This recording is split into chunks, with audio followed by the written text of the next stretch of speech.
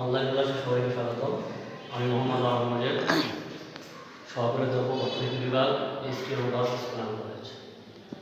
আজকে আমি তোমাদের অর্থনীতি প্রথম পত্রের দ্বিতীয় অধ্যায়ের ভোক্তা উৎপাদকের আচরণ চ্যাপ্টারে আলোচনা করব। আমরা এর আগে যোগান কি, চাহিদা কি, উপযোগ, এগুলো বিস্তারিত আলোচনা করেছি। আজকে যেটা আলোচনা করব সেটা হলো চাহিদা ও যোগানের পারস্পরিক প্রভাবে কীভাবে ভারসাম্য, দাম ও পরিমাণ নির্ধারিত হয়। চাহিদা ও যোগানের পারস্পরিক প্রভাবে কীভাবে ভারসাম্য, দাম এবং পরিমাণ নির্ধারিত হয়। তো চাহিদা এবং যোগান, আমরা জানি ভারসাম্য অবস্থায় চাহিদা এবং যোগান সমান হয়। অর্থাৎ কোনো কোনো ক্ষেত্রে দেওয়া থাকে এরকম কিউডি এবং কিউএস দুটো অপেক্ষক দেওয়া থাকবে সেই অপেক্ষক থেকে ভারসাম্য দাম এবং ভারসাম্য পরিমাণ নির্ণয় করতে বলা হবে। তো, এরকম উদ্দীপক যদি দেওয়া থাকে উদ্দীপক যদি দেওয়া থাকে। তো এটার উদ্দীপক দেওয়া আছে Q S is to minus thirty plus four P Q D is to twenty minus six একটা চাহিদা অপেক্ষক একটা যোগান অপেক্ষক সেখান থেকে আমরা ভারসাম্য দাম এবং পরিমাণ নির্ণয় করব। তো আমরা জানি ভারসাম্য অবস্থায় চাহিদা, পরিমাণ এবং যোগানের পরিমাণ সমান হয়। অর্থাৎ Q D to Q S হয় তাহলে সেইভাবে আমরা দেখতে পাই দেওয়া আছে কিউ এস টু কত কিউ ডি টু কত উদ্যোগের দেখাতে হবে সেটা। সুতরাং ভারসাম্য অবস্থায় Q D to Q S আমরা কি করব? কিউ ডির মানটা বসাই দেব। কিউ ডি হলো 20 minus 6 P Q S is equal minus 30 plus 4 তো আমরা কি করব এটা? নিয়ম হলো সবগুলো পি দামগুলো বাম পাশে নিয়ে আসব, সংখ্যাগুলো ডান পাশে। তো এখানে মাইনাস সিক্স পি রয়ে গেছে, এই পাশের ফোর পি আছে প্লাস এই পাশে নিয়ে আসলাম মাইনাস হয়ে গেল মাইনাস ফোর পি। এবার মাইনাস থার্টি আছে এর এই পাশে আছে টোয়েন্টি তাহলে সেই মাইনাস টোয়েন্টি হয়ে গেল। তাহলে আমরা দুটো যোগ করলাম সিক্স পি সিক্স পি, তাহলে মাইনাস টেন পি। ছয় টাকা দেয়, এক টাকা দেয়, দশ টাকা দেয়। এদিকে মাইনাস থার্টি মাইনাস টোয়েন্টি উভয় পক্ষের থেকে মাইনাস উঠে যায়, কিংবা আমরা এভাবেও বলতে পারি উভয় পক্ষকে মাইনাস দ্বারা গুণন। মাইনাস প্লাস মাইনাস বা আমরা সহজ ভাষাতে যে এরকম মনে রাখতে পারি, উভয় পক্ষের থেকে সমান সমান জিনিস উঠে যায়। মাইনাস মাইনাস উঠে গেল ten is equal fifty P is equal fifty by ten P is equal five অর্থাৎ দাম হলো পাঁচ। আমরা ভারসাম্য দাম পেয়ে গেলাম। এখন আমরা ভারসাম্য পরিমাণটা বের করব। তাহলে ভারসাম্য পরিমাণ কিউডি আর কিউএস এখন দাম পাঁচ টাকা বাড়ালো এই দামটা এখন কি এর মান? কিউডি ও কিউএস এ বসিয়ে পাই Q D twenty minus sixty তাই twenty minus six into five এর কি এর মানটা আমরা পাঁচ বসিয়ে দিলাম। তাই পাঁচ ছয়ে তিরিশ, বিশ থেকে তিরিশ বাদে মাইনাস টেন আচ্ছা Q S equal to minus thirty plus forty minus thirty plus four into five অর্থাৎ minus thirty plus twenty minus ten অতএব equal to Q B is equal to Q S is equal to minus ten তো দ্রব্যের পরিমাণ তো কখনো ঋণাত্মক হতে পারে না। সেই জন্য সমান সমান হলো টেন অর্থাৎ ঋণাত্মক মান অবজ্ঞা তাহলে এখানে মান বাড়ালো কি? ভারসাম্য দাম বাড়ালো পাঁচ এবং ভারসাম্য পরিমাণ বাড়ালো কত? দশ। এই কিউ ডি দশ কিউ এস তাহলে আমরা এখান থেকে পেয়ে গেলাম। এখানে তিন মার্কের অ্যান্সার থাকে।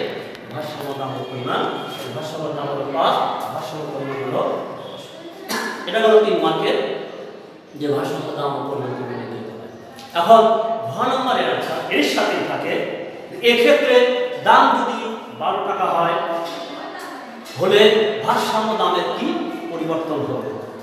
দাম যদি দশ টাকা হয়, ভারসাম্য দামের কি দাম যদি ছয় টাকা হয়, ভারসাম্য দামের পরিবর্তন দাম যদি চার টাকা হয়, ভারসাম্য দামের বিভিন্ন এলিমেন্টস দিতে পারে তো আমরা ভারসাম্য দাম যদি বারো টাকা হয়, তাহলে ভারসাম্য কি পরিবর্তন হতে পারে?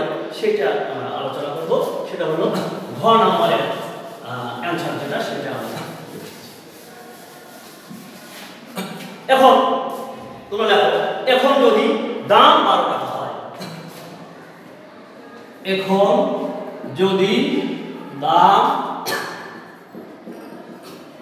বারো টাকা হয়, এখন যদি দাম বারো টাকা হয়, এখন যদি দাম বারো টাকা হয়, তবে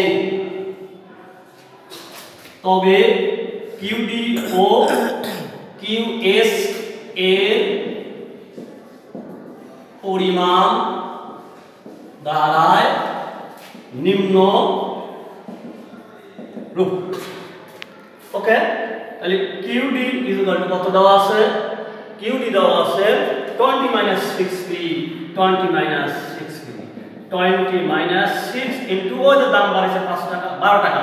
ওই সরি এখন দাম যদি 12 টাকা হয়, তাহলে আমরা 12 সমান হলো 20 মাইনাস 5 বারো 72 সমান সমান মাইনাস 52 সমান সমান হলো 52 এ- এখানে আমরা লিখে দেব যে ঋণাত্মক মান অবজ্ঞা।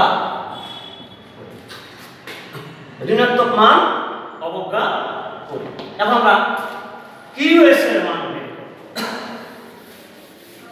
ওই দামটা খালি আমরা ওই জায়গায় বসাই কিউএস ইকুয়াল টু হলো? Q S equal to minus thirty plus four minus thirty plus four minus thirty plus four into বারো। মাইনাস থার্টি প্লাস চার বারো, আটচল্লিশ। সমান সমান হলো আঠারো। তো এখানে কি বাড়ালো কিউডি বাড়ালে হলো বাহান্ন, কিউএস বাড়ালে হলো আঠারো। অর্থাৎ চাহিদা হলো বাহান্ন, যোগান হলো আঠারো। চাহিদা বেশি, যোগান কম। চাহিদা যদি এবং যোগান যদি কম বেশি হয়, তাহলে ভারসাম্য অর্জিত হবে না এবং বাজার কি হয়ে যাবে? অস্থিতিশীল হয়ে যাবে। তো সেই ক্ষেত্রে আমরা লিখতে পারি? এক্ষেত্রে এক্ষেত্রে Q D not equal to Q S হয়। আমরা এই জায়গায় রাখব যে এক্ষেত্রে যে এক্ষেত্রে Q D is equal to Q D not equal to Q S হওয়ায় ভারসাম্য অর্জিত হবে না, বরং তাতে বাজার পরিস্থিতি বিঘ্নিত হবে এবং বাজার অস্থিতিশীল হয়ে উঠবে। এই অবস্থায় দাম এবং পরিমাণ অনির্ধারিত থেকে যাবে। এইটাই। শেষ। এরপর বিভিন্ন তোমরা বিভিন্ন বোর্ডের প্রশ্ন দেখবে যে এগুলো দেওয়া আছে। বিভিন্ন এলিমেন্টস উদ্যোগ দেওয়া আছে, সেখান থেকে তোমরা ভারসাম্য, দাম নির্ণয় করবে এবং দাম যদি বারো টাকা হয়, দাম যদি দশ টাকা হয়, দাম যদি ছয় টাকা হয়, দাম যদি চার টাকা হয়, বিভিন্ন এলিমেন্ট দিতে পারে, সেক্ষেত্রে ভারসাম্য, দাম কী হবে? এখানে যদি এরকম হয়, আরেকটা এলিমেন্ট যদি বসা যদি যোগান বেশি হলো, আর চাহিদা কম হলো হ্যাঁ? একই এক্ষেত্রে কিউ কিউ অফিস কিউ ছয় ভারসাম্য দিতে হবে না? তাতে কি হবে? বাজার পরিস্থিতি বিঘ্নিত হবে এবং বাজার অস্থিতিশীল হয়ে উঠবে। এই অবস্থায় দাম হবে উভয়ই অনেক একই গড়। ভিন্ন ভিন্ন পদ দেখার প্রয়োজন নেই। একই পদ দিলে আমরা এটা ক্লিয়ার করতে পারব। তো আজকে আমাদের ক্লাসটা হলো চাহিদা যোগানের পারস্পরিক প্রভাবে ভারসাম্য দাম এবং পরিমাণ নির্ধারিত হয়। সেখানে আমরা উদ্যোগকে চাহিদা দেওয়া থাকে যোগান দেওয়া থাকে সেটার থেকে আমরা দাম পরিমাণ নির্ণয় করে এবং যদি দাম দেওয়া থাকে, তাহলে ভারসাম্যের উপর কীরকম প্রভাব পড়বে সেটা আমরা আলোচনা করলাম। ধন্যবাদ সবাইকে। এই পর্যন্ত শেষ। সবাইকে